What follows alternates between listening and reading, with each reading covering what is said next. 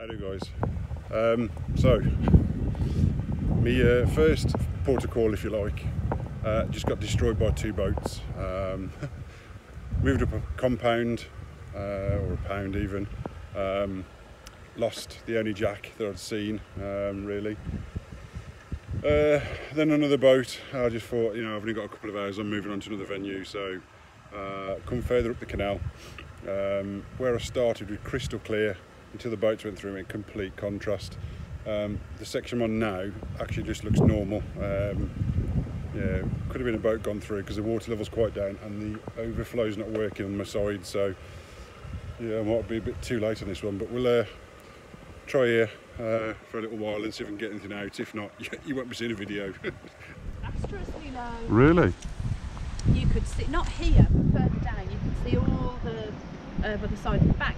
Yeah. Like, it didn't look right at all. Um, and I was asking one of the workers, and he said, yeah, there's a farmer who can take the water out, but sometimes he takes too much. I presume they must have it. Oh, oh, Also, what did you see there? there we go. That's so exciting. Do you need to put your camera on? Uh, I don't know, if you know if it's on or not. Um, Oh my god! Wow. I should come round, you're sorry. Nose. This is like a dream come true. That was just because of changing the lure over as well.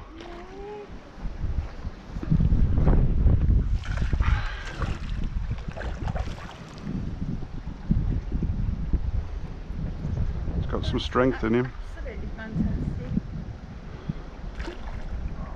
But I've put three different lures through the through here so far, and this is the first one he's had a go at.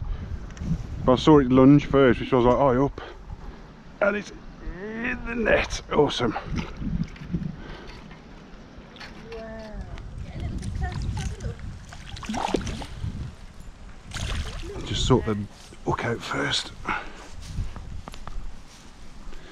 End up going in myself.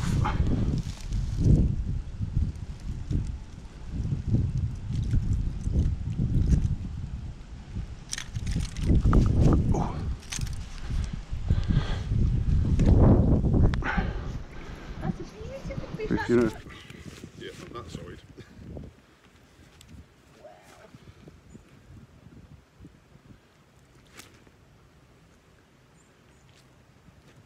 It's that line there and that line there. So that fish is, if you look at the size of that head to that one, that to there, so that was a much bigger fish.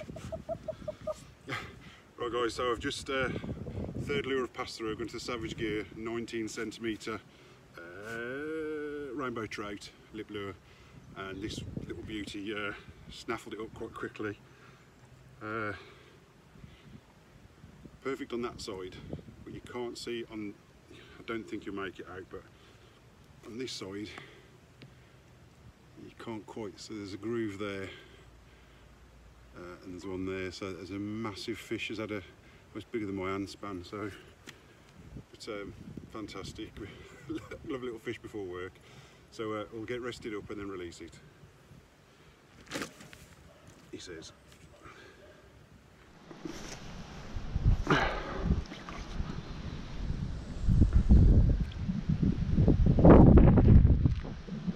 Kind of once you've rested them up, they kind of you know when they need to go because they'll start to kick. Yeah. Wow. But I just I'd love to know where that pike is that's had a go at this one. yeah, goodness me. There he goes. Well, maybe that one's just too smart to. Well, that's the thing. The older fish, they are wiser. Okay, guys, that's his end of uh, today's session. Um, first, first pound I landed on, uh, two boats went through and absolutely chopped it up. Sorry, the brightness is uh, up down. Um, so I ended up moving around because getting really frustrated with the condition of the water. When I first pulled up, it was crystal clear. I mean, too crystal clear to be fair. And from crystal clear to chocolate. So uh, I've moved away, come up to another pound, and in all fairness, I've had one fish. Do you know what? It's a quick session before work. One fish is all I need. It's all good. Uh, it's one of those things, isn't it, where if you're sat at home playing your games console or watching DVDs or just not getting on the bank, you're not going to catch a fish, obviously. So 30 minutes might be all you've got. Just try and get out for 30 minutes. Um, it's all I usually get. Not 30 minutes, probably two, or three hours max of a morning before work. Um, but it, it's just good to get out and try. So key is get out on the bank. Um, yeah, not, not a very productive uh, session today, however. Um, what I will do um, is show you the lures I've used today. Obviously, on the videos I do, everyone goes, oh, Dominic, every time you go, you seem to catch, or you know, you, you always catch one. Well, that's not the case, um, and quite often I go out and I do blank, and obviously I'm not going to stick a video up about blanking because I think that's just boring.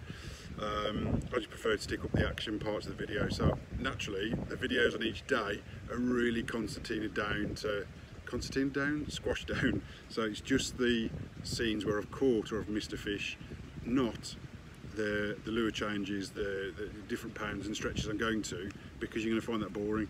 So just to highlight, I guess, today, um, the lures I have used, I started off on the jig fly, always a good one to start with. Um, actually, did I? No, I didn't, I tell a lie. I started off on the Rapala. Um, Rapala, um, which one's this one? Otis 25 this is. So, uh, curly tail version. They also do a straight tail version. Um, not so keen on this at the moment. Uh, more so for the fact that when you jerk the bait, it rises up quite a bit and then flutters back down. It looks awesome when it flutters down, but on a steady retrieve, that's that's good, looks awesome. Um, but I think this needs a bit of added weight just to keep the nose down. So when you do jerk it, it jerks at a certain level. Um, no puns intended. Uh, but not a sniff on that one today. Moved over to the jig fly and I did get some interest. Uh, I missed two fish to be fair on that one.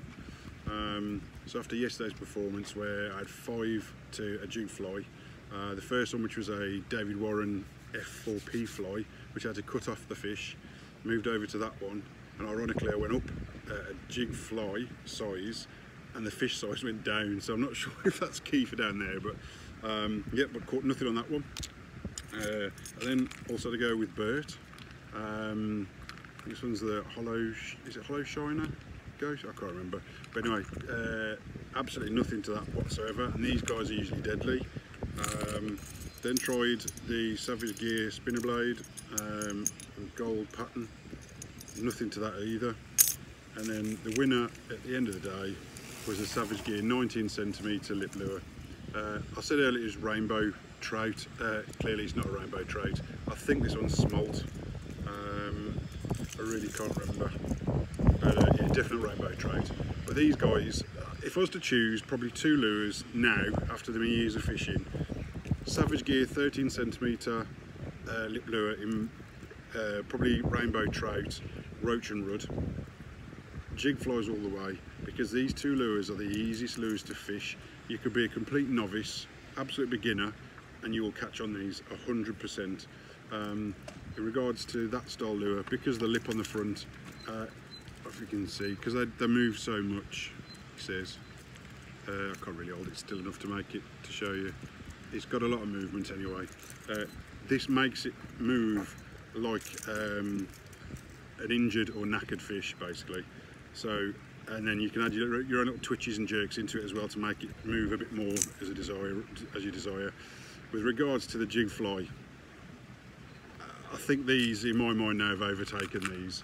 For the right water, I reckon deep water, you probably will never go wrong with a Bert. Um, but these little bad boys, uh, yeah, these are the business. Um, so all I can say is, yeah, I've, I've, I've caught one fish today shown the lures I've used today, so I've not used just one. Um, and you know, it's been a cracking morning. Uh, I've got another late shift today. I've met another um, uh, person on the bank whilst we were fishing this morning, and I actually caught a fish while she was there. And it was really nice for her to, to see that fish come out and how it attacked the lure. Uh, and for her, she really, to be fair, she appreciated just how pretty the fish uh, the pike are. Um, and again another really nice person to have a chat with. It's like like yesterday in Bewdley so many nice people to talk to on the bank. Um, makes a really nice change. So um, what we'll do at the end of the video now I'm about to stop waffling um, is I will put the link or some links in to some of the fishing tackle I've got.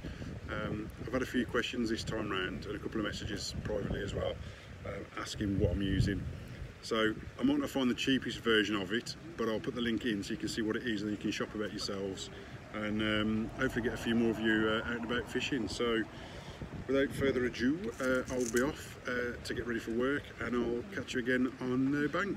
Tight lines guys.